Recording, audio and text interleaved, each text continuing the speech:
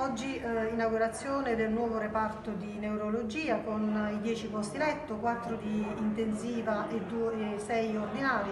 Eh, oggi riparte il nostro ospedale, riparte gli ospedali, ripartono gli ospedali della regione Campania e noi oggi siamo pronti, siamo pronti con questo nuovo reparto, un reparto che per noi è l'espressione della rinascita in una città eh, che ha sofferto tanto e eh, che guarda al futuro e a quello che potrà essere la vita ordinaria, sperando che possiamo ridare alla nostra, alla nostra realtà quella che è la speranza di tutti di uscire fuori da questa eh, emergenza. Approfitto per eh, ringraziare appunto anche il reparto di, ne, di eh, neurologia che eh, si è messo a disposizione in questo periodo di emergenza con medici, infermieri, operatori socio sociosanitari a sostenere il reparto di medicina Covid.